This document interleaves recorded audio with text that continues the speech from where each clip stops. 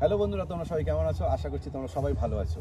অনেক দিন তোমাদের সঙ্গে দেখা হয়নি অনেক দিন কথা হয়নি। আসলে আমার এই সময় প্রচণ্ড কাজের চাপ ছিল আর এমনকি ভিডিও বানানোর কথা মাথায় পর্যন্ত আনতে পারিনি, এতটাই প্রেশারে ছিলাম। তো আজকে হঠাৎ করে একটু টাইম পেলাম, তাই জন্য ভাবলাম যে আমার বন্ধুদের জন্য অন্তত একটা ভিডিও তো আজকে হতেই পারে।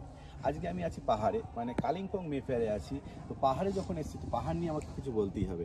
আমি পাহাড় থেকে কি শিখেছি? দেখবেন কি, পাহাড়ে উঠতে গেলে অনেক সময় লাগে। যখন গাড়িও যায়, গাড়িও দেখবেন ডিকিট ডিকিট ডিকিট করতে যাচ্ছে। তো অনেকটা কষ্টকর ব্যাপার পাহাড়ে ওঠাটা। আর যখন নামবেন, নামতে গেলে দেখবেন হুড় হুড় করে নেমে যাচ্ছেন, অনেক কম টাইমে নেমে যাচ্ছেন। আমাদের জীবনটাকে যদি একটা পাহাড়ের মতন করে ধরি, তাহলে দেখবেন কি, আমরা যদি কোনো কিছু সাকসেস পেতে চাই, তাহলে কিন্তু আমাকে অনেক কষ্ট করতে হয়। মাথার গাম পায়ে ফেলে করে একটা সাকসেস পেতে হয়। তবে আমাদের যে পারফরমেন্সটা ছিল, আমরা যেই পারফরমেন্সটা করে করে করে করে আজকে আমরা সাকসেসটা পেয়েছি, সেই সাকসেসটা ধরে রাখার জন্য কিন্তু ওই মেহনতটা করতে হবে সেই ওপরে গিয়েও। আপনি সেই মেহনতটা না করতে পারেন, যে সেই কষ্টটা না করতে পারেন, করতে কিন্তু আপনার একটুও সময় লাগবে না।